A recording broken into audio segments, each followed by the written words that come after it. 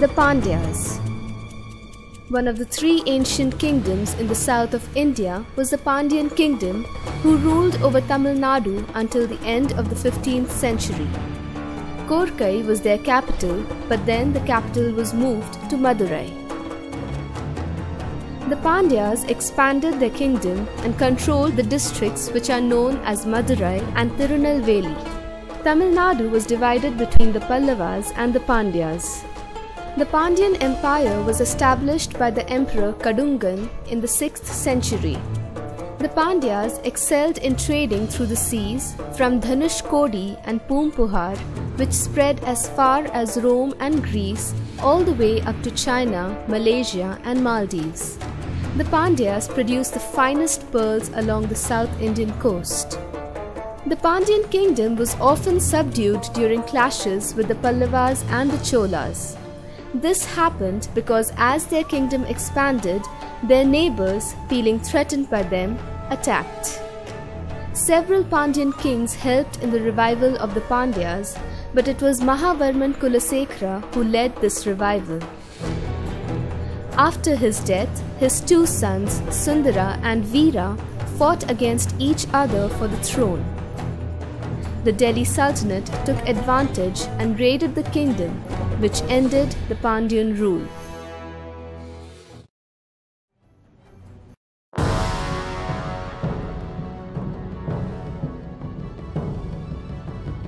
Persian and Greek invaders.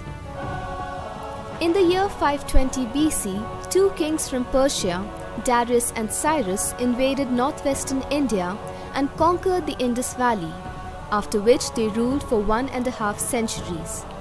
When the Greek army headed by Alexander the Great invaded parts of northwestern India, he got engaged in an epic battle with the local ruler of Punjab, Raja Puru, and emerged victorious. But impressed with Puru's bravery, he appointed him general of the land. Although Alexander's army won, they refused to go any further than Jalandhar. Rumor had it that a mighty Indian army was waiting to fight them on the other side of the Indus River. Alexander left India after naming some of his generals as governors of his provinces. But in a few years, Indian forces chased away most of the generals. Persian and Greek invasions had a great impact on the political systems of India. The region of Gandhar became a mix of cultures Indian, Persian, Central Asian, and Greek. This gave rise to a new culture called Greco Buddhism, which lasted till the 5th century.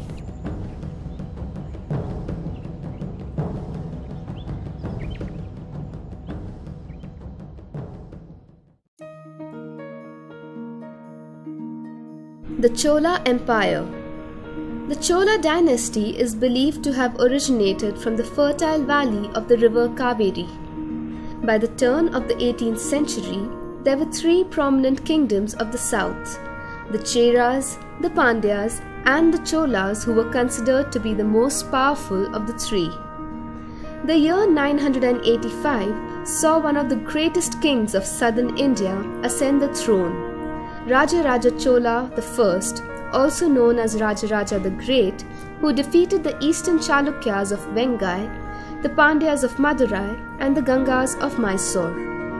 His campaign of expansion included the capture of Sri Lanka, which remained under the Chola rule for 75 years. He also conquered the islands of the Maldives and even sent missions to Indonesia. Being an able administrator and a great lover of architecture, he commissioned the building of the magnificent temple of Tanjore. The temple is named Rajarajeshwar after him. Rajendra Chola, the heir and son of Rajaraja Chola I, took over the kingdom after his father's death and was an able ruler just like him. His greatest achievement included the conquest of the Andaman and Nicobar Islands. He conquered lands right up to the banks of the river Ganga.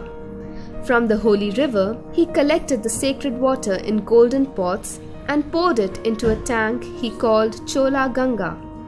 He then adopted the title of Gangai Konda, which means victor of the Ganga. The period under his reign came to be known as the Golden Age of the Cholas. Art, music, dance, poetry, drama, sculpture, painting, philosophy, and religion all reached new heights. Temples were the center of all activities, where the courtyard served as a school for students who were taught ancient Vedas and scriptures. It was also built to be used as a shelter by people in case of an emergency. The Cholas continued to lay much emphasis on architecture. Magnificent temples were built. The Brihadishwara temple at Tanjore is a prime example. Another famed art form of the time were the carved bronze statues. The Nataraja and the Ardhanarishwara are famous examples of this art form. The eastern Chalukyas and the Cholas had intermarried through the generations, and thus a new clan was born. Rajendra Chola's daughter was married to the Chalukya prince Vimaladitya. One of the Chalukya Chola rulers was Rajendra II, an eastern Chalukyan prince who called himself Kulotunga or Star of the Dynasty. Under his rule, Sri Lanka gained independence from the Chola rule. His reign was of peace and prosperity.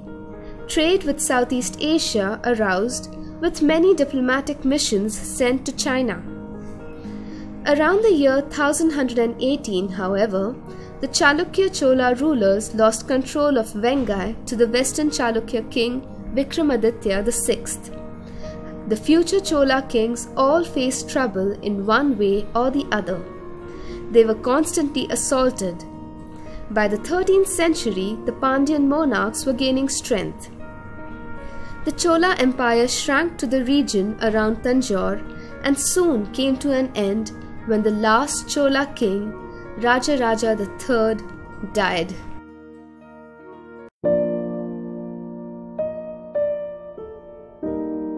The Maurya dynasty. Right after Alexander's departure from India, Chandragupta Maurya invaded central and western India. With Pataliputra as its capital near Patna, he had occupied northwestern India in its entirety by the year 316 BC.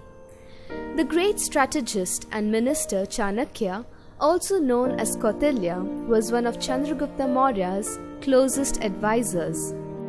At Chanakya's behest, Chandragupta took over the throne of Magadha from Nanda dynasty which was ruled by the corrupt king Dhana.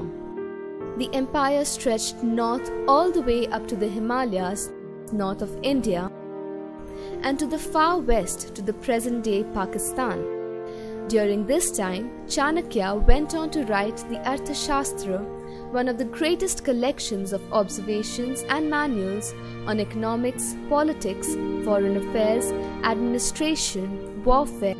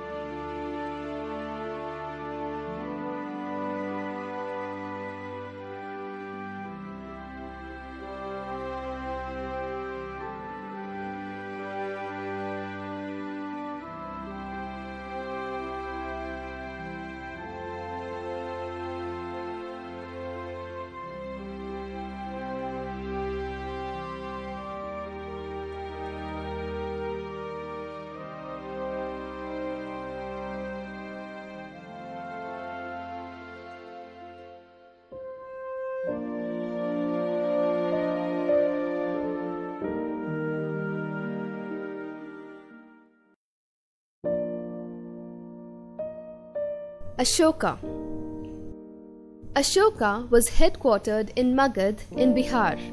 His kingdom stretched from Pakistan and Afghanistan in the west to Assam and Bangladesh in the east and as far as Kerala and Andhra Pradesh in the south. Within eight years of ascending the throne, Ashoka expanded his empire to regions in Iran and Persia. His quest to expand his empire, however, would change after the bloody Battle of Kalinga. In his younger days, Ashoka is said to have had a massive temper and was considered to be a very cruel person. He was nicknamed Chand Ashoka, which meant Ashoka the Fierce. Kalinga was a state in the fertile land between Godavari and Mahanadi rivers. Ashoka invaded this kingdom after they refused to bow down to him. It is said that a hundred thousand soldiers of the Kalinga army died in this war, and Ashoka too lost around 10,000 of his men. After the battle, Ashoka was very moved by the devastation he had caused. He saw burnt houses and scattered corpses all around, and the wails of the mourners pierced his ears. Ashoka adopted Buddhism soon after embracing its message of peace. He made it the state religion and propagated its message within the boundaries of his kingdom as well as other parts of the world. He built thousands of stupas and viharas that stand until today. During his reign, Ashoka built many universities, water transit, and irrigation systems to promote trade and agriculture. He constructed hospitals and renovated major roads throughout his kingdom and treated his subjects equally, regardless of their politics, culture, or class. All our knowledge of Ashoka's rule is from inscriptions he had carved on pillars and rocks throughout his kingdom. They all speak of compassionate living and spreading peace and love. After 40 years on the throne, Ashoka breathed his last at the ripe age of 72. He left behind a legacy of an able ruler and lawmaker, a hero, a monk, and a noble preacher of Dharma. Ashoka was the last of the great kings of the Mauryan dynasty that eventually fell apart 50 years later.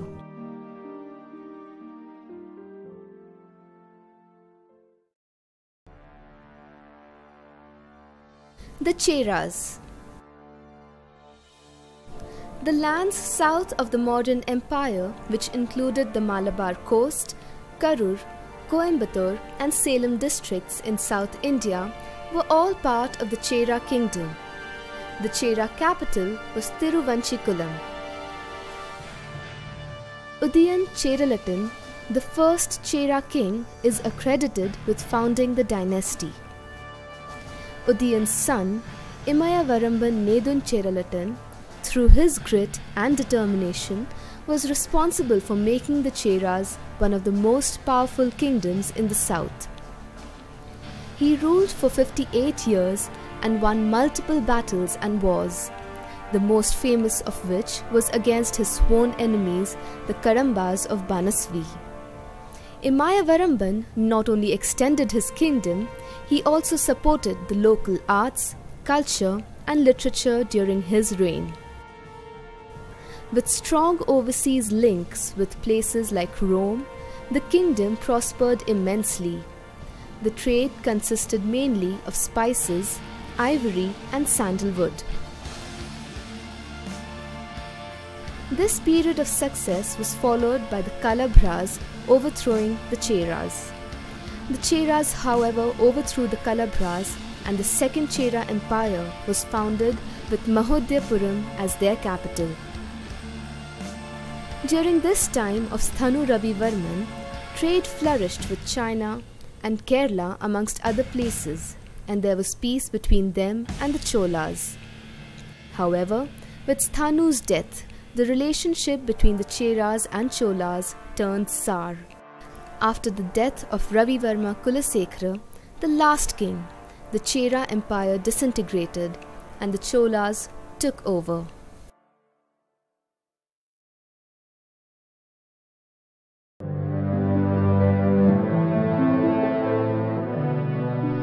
The Pallavas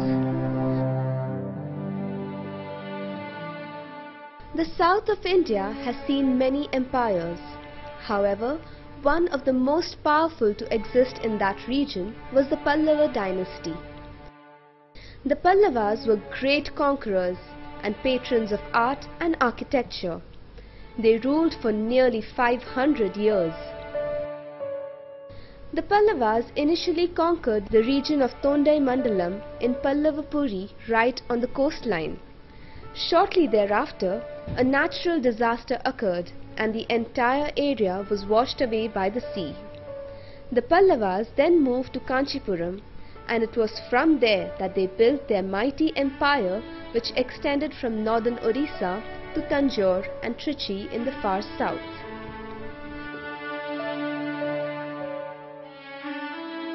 Believed to be the first Pallav ruler who ruled in the early part of the 4th century. Skandavarman extended his territories from the Krishna river to Pennar in the south, all the way across to Bellary in the west. After having performed the Ashwamedha and various Vedic rituals, he earned the title of Supreme King of Kings devoted to Dharma. During the period of 350 to 575 BC, there were over 16 kings who ruled.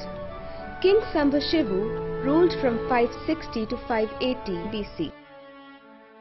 He was a strong ruler who defeated the Cholas, Pandyas and Kalabhras, which were the original rulers of the southern region.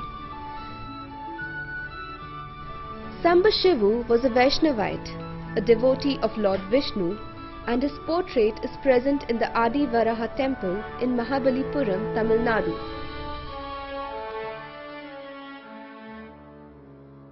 Sambhashivu was followed by his son Mahendravarman who ruled from 600 to 630 BC. Mahendravarman was a very learned person, a poet and a skilled musician. His instrument of choice was the veena. He was also a patron of the arts, music and architecture which flourished during his reign.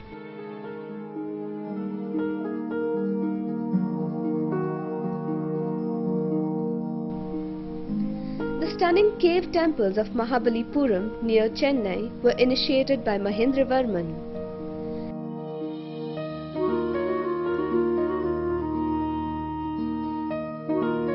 Narsimhavarman was Mahendravarman's brave and intelligent son.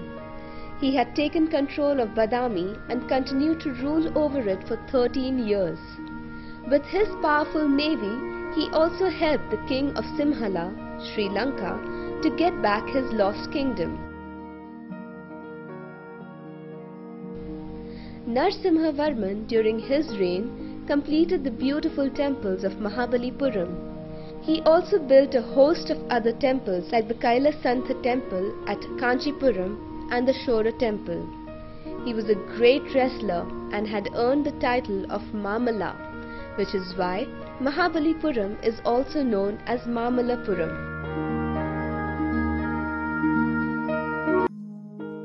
King Harshavardhan The downfall of the Gupta Empire in the middle of the 6th century brought about the breakup of the northern Indian kingdom into many small republics and monarchy states. Prabhakar Vardhan, ruler of Sthanaviswara Thanesar in present-day Haryana, was the first ruler of the Vardhana dynasty. He had two sons. The elder son Rajyavardhan, who ascended the throne after his father, and his younger son Harshavardhan. Rajyavardhan was deceived and murdered by King Gauda, at which point the young 16-year-old Harsha swore to take revenge. Harsha waged war against King Gauda and won the battle. Harsha was consequently crowned the new ruler. He first united the kingdoms of Thanesar and Kannauj and then went on to bring Bihar, Bengal, and Orissa under his command. Harsha then moved towards the south only to be stopped by Pulakesi II of Vatapi. As a result, the Narmada became the southern limit of Harsha's empire. He was also an author of repute, having penned Sanskrit plays like Nagananda, Ratnavali, and Priyadarsika. Banabhatta, Harsha's court poet, wrote the Harsha Charitam, the first historical poetic work on King Harsha. Harsha's capital city, Kanauj, extended 6 to 8 kilometers along the river Ganges. He also had a systematic tax structure in place. One fourth of the taxes went towards the administration of his empire. The rest was given away to charities and to further the arts and cultural endeavors in his kingdom. Later on in his life, King Harsha, a Shaivite by birth, became a follower of Buddhism. Under him, all religions and schools of thought like Jainism and Buddhism enjoyed freedom of expression. Harsha ruled ably for 41 years. With King Harsha's passing, the idea of a single kingdom ruling northern India disintegrated.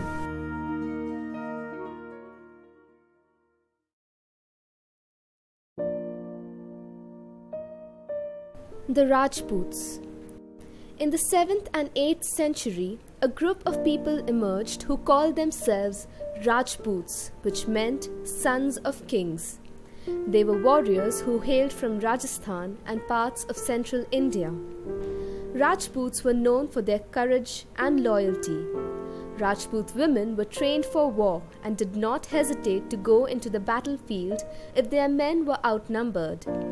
However, if the king and all his men were killed in a battle, Rajput women preferred to commit suicide rather than allow themselves to be taken as prisoners. This ritual was known as Jauhar. One of the most prominent Rajput kings was Prithviraj Chauhan. He ascended the throne at the age of 13 after the death of his father. He was adept at military targets and was known to hit moving targets merely by listening to the sound. His kidnapping of Princess Sanyogita is legendary. During her wedding to another man, Prithviraj bravely rode into the venue, abducted her, and sped away. Her father's soldiers chased him but were unable to catch him. He got away and married his beloved. In the meantime, he spread his empire and controlled most of Rajasthan and Haryana, unifying Rajputs against Muslim invasion. A Muslim conqueror named Muhammad Shahabuddin Ghori was capturing nearby kingdoms. As he covered more areas, he became a threat to Prithviraj's territory. At the Second Battle of Tarain, Prithviraj was defeated and captured. It is said that he was tortured and his eyes were blinded with red hot iron rods. Thereafter, in an archery contest, he displayed his skills by hitting targets in spite of being blinded. Ghori is said to have praised him for this feat. On hearing his voice, Prithviraj is believed to have aimed an arrow in his direction that killed his enemy. Maharana Pratap, the ruler of Mewar, is synonymous with Rajput valor and chivalry. He continued his combat with the Mughals and other infiltrators for the rest of his life. Gradually, the power of the Rajputs dwindled as they were no match for the Mughals. When the British arrived in India, the Rajput states became colonies, this ending the reign of the Rajputs forever.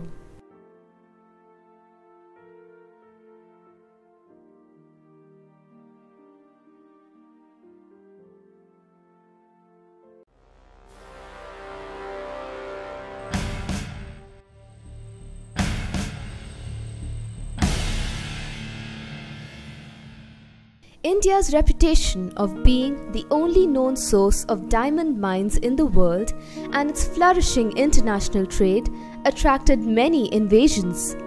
North Indian kingdoms resisted invasions by Arab Turks for centuries, but soon small Islamic empires or sultanates were established in several parts of the north.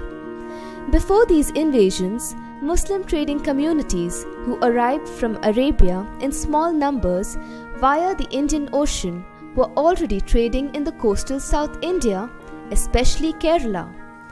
Arabs, Turks, and Afghans invaded parts of North India and established the Delhi Sultanate in the former Rajput regions during the 12th and 13th century. There was a great impact on culture with the establishment of the Delhi Sultanate. An Indo Muslim culture evolved, and this could be seen in architecture, music, literature, and religion. The language of Urdu was developed at this time, which is said to be a mix of Sanskrit, Persian, Turkish, and Arabic. The Delhi Sultanate was the only Indo Islamic empire which placed Razia Sultan, a woman, on the throne. Qutb ud-Din Aibak was responsible for establishing the Delhi Sultanate. Shamsuddin Iltutmish then later established a Turkish kingdom in Delhi Timur. Timur, a Turkish Mongol conqueror, launched a massive campaign to invade India. He attacked Sultan Nasiruddin Mahmud of the Tughlaq dynasty in Delhi, leaving the city in ruins. Zahiruddin Muhammad Babur was the founder of the Mughal Empire. Babur, with the help of his armies and the advantage of superior cavalry tactics, firearms, and guns, defeated the last of the sultans, Ibrahim Shah Lodi, in the first battle of Panipat in 1526. Babur was succeeded by his son Humayun. At the age of 12, his father appointed him as the governor of Badakhshan, and this is where he proved his administrative skills and bravery. Sher Shah Suri, an Afghan general who served under Babur, had gathered an impressive number of loyal and well trained Afghan soldiers and was one of Humayun's greatest threats. Sher Shah, in the meantime, went about capturing Bihar and Jaunpur, which was under Mughal rule. Facing humiliation, Humayun clashed with Sher Shah two more times. The second battle at Kannauj brought an end to Humayun's reign. Afghan rule was established with the capture of Delhi and Agra. Humayun fled to Persia, where he lived in exile for 15 years after being betrayed by his brothers. In exile, his wife gave birth to their son Akbar. After the death of Sher Shah Suri, his empire began to crumble as his successor could not recreate Sher Shah's magic. Humayun, on realizing this, put an army together with the help of a Persian king and marched towards Delhi. The following year, he managed to capture Delhi along with Kabul and Kandahar and defeated Sikandar Suri Sher Shah's successor, ascending the throne at Agra, thus bringing an end to his days in exile. After ascending the throne, Humayun devoted his time to the state. His greatest achievements lay in the field of painting. He brought several painters from Persia and they laid the foundation for Mughal art and style. From here on, there was a fusion of Persian and Indian styles. Humayun's reign was short lived. He died in a tragic accident after falling off his library steps. He was succeeded by his son Akbar, who went on to become one of the greatest Mughal kings ever known.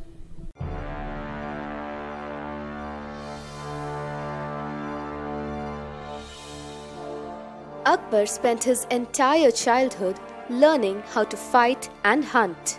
He had no interest in learning how to read and write. However, Akbar was the only Mughal emperor who was illiterate and still had a penchant for knowledge. Akbar was made king at the age of 13 after the death of his father. Akbar was with Bairam Khan at the time of his father's passing and Bairam was made regent as Akbar was too young on many occasions, Bairam led campaigns on Akbar's behalf to expand the kingdom. Hemu, the Hindu minister of an Afghan prince, Adil Shah, was waiting for a chance to defeat Akbar. Hemu attacked the kingdom of Delhi and emerged victorious, crowning himself the ruler of Delhi. In retaliation, Akbar launched a scathing attack in the Second Battle of Panipat. The two armies fought valiantly and it seems as if the Mughals were fighting a losing battle until an arrow hit Hemu's eye and he fainted. Hemu's men thought that he was dead and put down their weapons, accepting defeat. Akbar became king again. He won many more battles and added more regions to his kingdom, stretching from the Indo Ganges basin to Kashmir and Afghanistan all the way down to Bengal in the east and part of Deccan in the south. Although Akbar was a young king, he was shrewd and organized. He got rid of all his ministers whom he felt were over ambitious and were looking to covet his position. He removed restrictions on religions and allowed his people to practice the religion of their choice without having to fear for their life. In spite of being illiterate, Akbar was surrounded by scholars such as Birbal, Abul Fazl, and Tansen, who were all part of the nine gems or Navratnas. Akbar also took keen interest in religion, music, painters, poets, and philosophy. He had a huge collection of books and manuscripts and was also owner of a number of artworks from across the region. His biggest accomplishment, however, lied in architecture. He built great structures like the Jama Masjid that stands tall even today. He even built a palace for his wife close to the Hawa Mahal. Akbar fathered three children Jahangir, Murad, and Danial. Jahangir was the only surviving son, as the other two died very young. Jahangir and Akbar did not share a very good relationship and were at constant loggerheads with each other. In 1605, Akbar fell very ill and died a slow death. He had managed to bring parts of East, West, North, and as well as South India under his rule in his tenure. Akbar's rule is greatly noted for the wealth of learning and culture that existed in his time. He was also admired for his bravery and wisdom.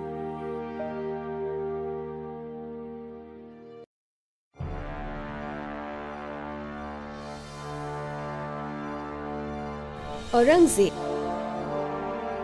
Aurangzeb, born in 1618, was considered as the last great Mughal emperor. He was the third son of Shah Jahan and Mumtaz Mahal. By the time he turned 16, Shah Jahan gave him the post of the governor of Deccan. Aurangzeb moved to Kirki in the Deccan region, which he renamed Aurangabad after him. After some time, Shah Jahan began to favor his elder son Dara Shikoh. Aurangzeb soon earned his father's disfavor and was asked to step down from his post. However, after mending ties with his father, he was made governor of Gujarat, where he did well and was rewarded. By 1647, he was made governor of Balkh and Badakhshan, which lie in the present day Afghanistan and Tajikistan, replacing his ineffective brother Murad Baksh. These areas were constantly attacked by rebels, and Aurangzeb managed to quell them with his military skills. When he was appointed as the governor of Multan and Sindh, he engaged in a long battle in an effort to capture Kandahar from the Safavid army. Unfortunately, Aurangzeb failed to do so and once again earned his father's anger. He was once again appointed the governor of Deccan. Soon after Shah Jahan fell ill, all his sons began to fight over the throne. Aurangzeb defeated his brother Dara's army and condemned him to death, and took his father as prisoner. He defeated his other brothers too, and soon after took over the throne at Agra. His rule lasted 49 years. Although his predecessors were tolerant towards all religions, Aurangzeb enforced strict Islamic law called the Fatwa-e-Alamgiri. He destroyed many Hindu temples, prohibited religious meets, and enforced unfair taxes on non Muslims, which Akbar had removed. Aurangzeb extended the empire both in the northwest and northeast. His armies consisted of some 500,000 camp followers, 50,000 camels, and 30,000 war elephants. In a quick span of time, he invaded Punjab and Afghanistan. Because of his restrictive rule, Aurangzeb had many enemies, especially the Sikhs. When he insisted that all Kashmir Brahmins must convert to Islam, the helpless Kashmiris turned to the Sikh Guru Tegh Bahadur for help. Aurangzeb refused to listen to his pleas and insisted that he too must convert to Islam. When Tegh Bahadur refused, Aurangzeb had him executed, which triggered a rebellion from the Sikhs. Aurangzeb's army continued to weaken. It was at that time that his new enemies, the Marathas, attacked him, led by Shivaji. For 27 years, the two armies fought many battles, and only after Shivaji's death in 1680 did Aurangzeb and his army get some respite. This relief was short lived as the Rajput of Jodhpur and Mewar joined forces and rebelled against Aurangzeb. They declared themselves independent of his rule. Aurangzeb sent his son to quell their rebellions, only to learn later that his son would deceive him. Akbar, Aurangzeb's son, declared himself king and soon fled to the Deccan where he allied with Shivaji's son Sambhaji. Aurangzeb later sent his son into exile in Persia, from where he never returned. Aurangzeb then captured Sambhaji and killed him. The decline of the empire had already begun. Aurangzeb's political power had weakened because of the time he spent on military matters. His governors and generals became powerful, and many declared themselves independent rulers. Aurangzeb breathed his last in 1707. Though the empire officially came to an end in 1857, when Emperor Bahadur Shah Zafar was put on trial. It was at that time that the Mughal Empire was completely wiped out.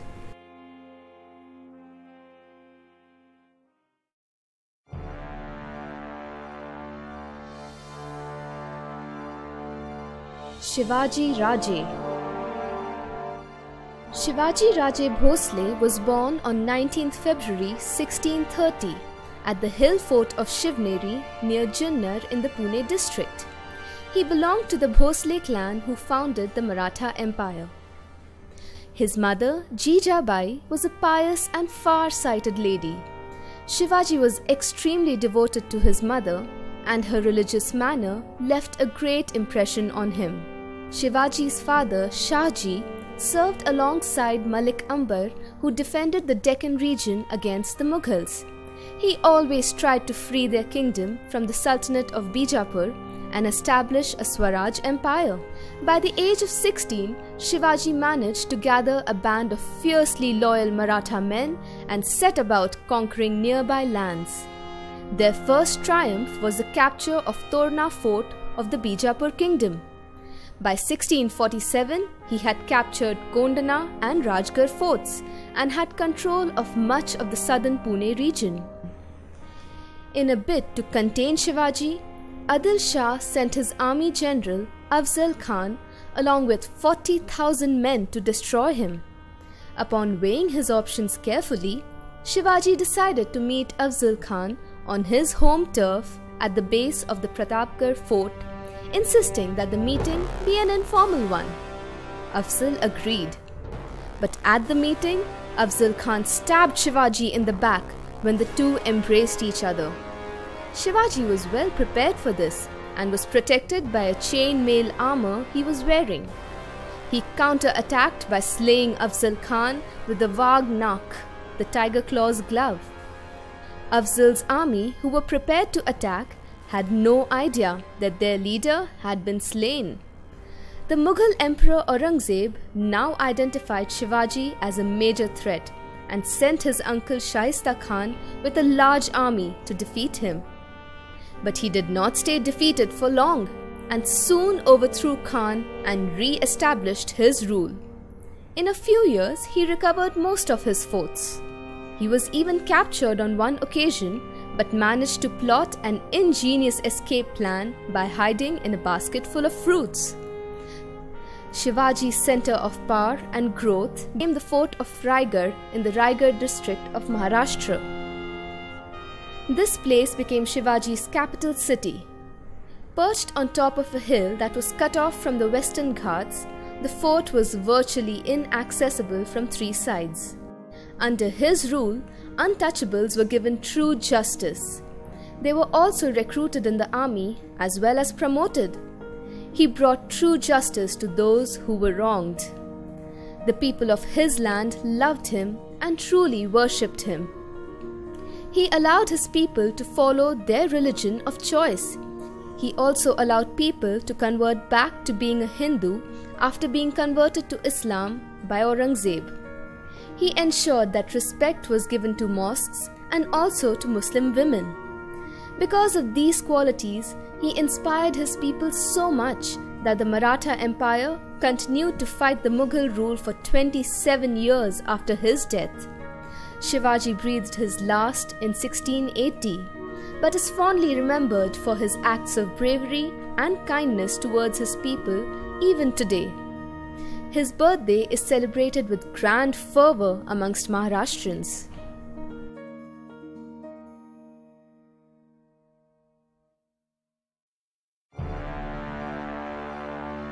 Hyder Ali The Wadiyar dynasty, one of the most prominent dynasties of the south, ruled the kingdom of Mysore. Hyder Ali and his son Tipu Sultan made their mark in this region. Hyder Ali was born at Budikot around the year 1720. He started off his career as a soldier.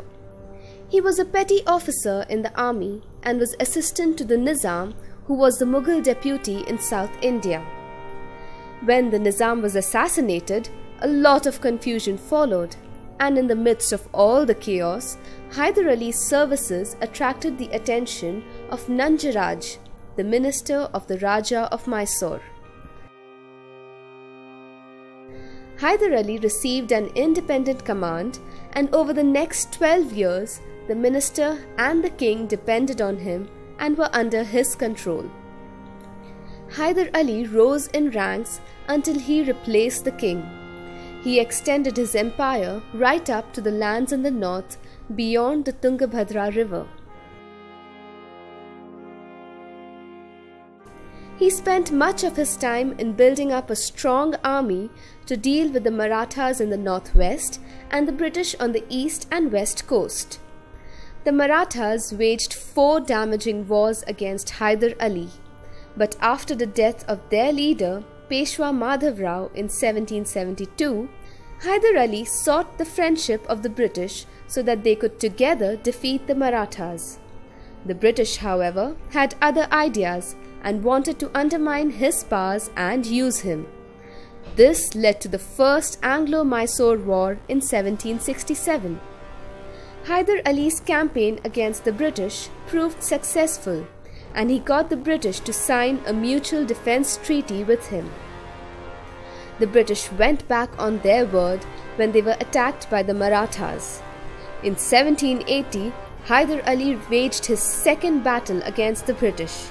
He was defending his kingdom as best as he could, but then suddenly died of cancer. He was succeeded by his son Tipu Sultan, whom he had educated and trained well. Tipu was fluent in a number of languages and was a good student of mathematics and science. He had a great appetite for learning. He was also an avid reader, and his library was filled with over 2,000 books in different languages. Tipu was given exposure to both military and political affairs at a very young age.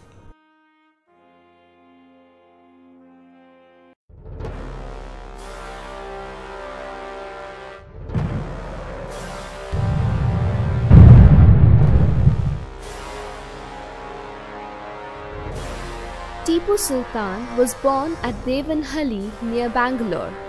His father Hyder Ali was a military officer in the service of the Kingdom of Mysore.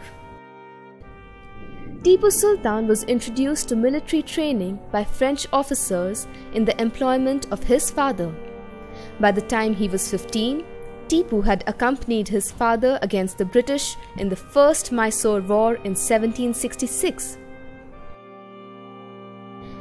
In 1779, Tipu fought the Second Anglo Mysore War when the British captured the French controlled port of Mahe, which Tipu had placed under his protection. Tipu's father dispatched 10,000 men and 18 iron cannons. In this battle, Tipu decisively defeated the British and brought down their army of nearly 7,000 men. By the time his father died, Tipu Sultan had gained sufficient military experience and in 1782 became the ruler of Mysore. He then started working on keeping the advances of the British in check by making allies with France, Afghanistan, and the Sultan of Turkey. In 1789, Tipu triggered the Third Anglo Mysore War by attacking the British colony of Travancore. The war lasted three years and brought an end to Tipu, as he was forced to sign a treaty where he gave up half his kingdom and two of his sons as hostages until he paid a fine of 3 crores and 30 lakh rupees. After paying the fine, Tipu got back his sons. In 1799, Tipu fought his last war. General Richard Wellesley was on a mission to bring down the crown of Mysore, and thus began the Fourth Anglo-Mysore War with their march to Sri Srirangapatnam. Tipu was caught unprepared for battle but kept up to his nickname, the Tiger of Mysore. This time, the British were too powerful and were able to surround the palace. He was, however, shot dead at the entrance. Tipu Sultan was buried at a mausoleum that he had built himself. He was considered one of the most powerful native princes of India and was said to be the biggest threats to the British position in South India.